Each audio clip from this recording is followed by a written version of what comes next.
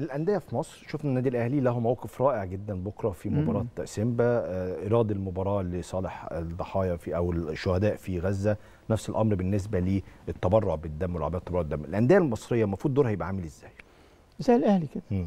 زي الأهلي كل واحد يقدر يبقى عنده مباراة ينتهزها فرصة يعملها.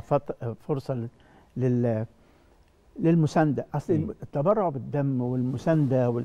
أنت يعني أهل غزة محتاجين هذه المساعده. محتاجين يا سيدي إنك إن هم يحسوا إنك أنت معاهم. صحيح.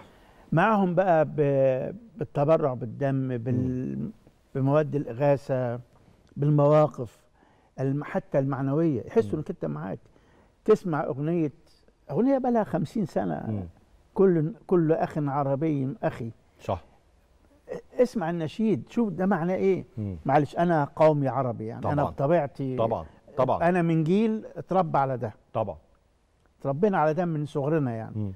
ف- وعلى فكرة أنا زرت كل الدول العربية وحاجه جميلة جدا مشاعر ال- ال- العرب الحقيقية اللي بتشوفها بقى في ال في ال في الشارع العربي يعني. فلا يعني مهم جدا المساندة دي. على فكرة دور الأهلي ده قديم كمان يعني يعني الأهلي في حرب آه، 56 عمل معسكر أيوه آه، إعداد حربي يعني مم.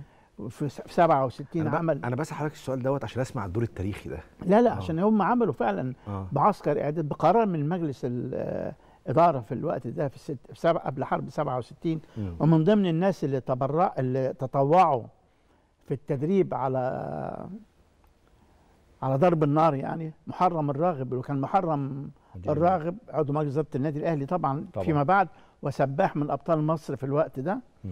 وتطوع في ال في ال في العمل الفدائي يعني أو التدريب العسكري اللي النادي الأهلي فتحه للأعضاء بتوعه والأبطال والرياضيين عشان يعني يساهموا في المعركة يعني فالدور ده قديم جدا آه، عن النادي عند النادي الأهلي يعني. والأندية المصرية لازم تعمل ده. صحيح. بس أنا مش بقول ده عشان تعريف الوطنية أو وطنية النادي الأهلي. لأن معظم الأندية اتعملت لأسباب وطنية. حتى الزمالك لأسباب وطنية. كله اتعمل لأسباب وطنية. إنما كمان ال ال الوطنية في إن هو أصلا اتعمل عشان الش- الشعب المصري عشان طلبة المدارس العليا اللي هم طلبة الجامعة. ده أصلا سبب تأسيس النادي الأهلي.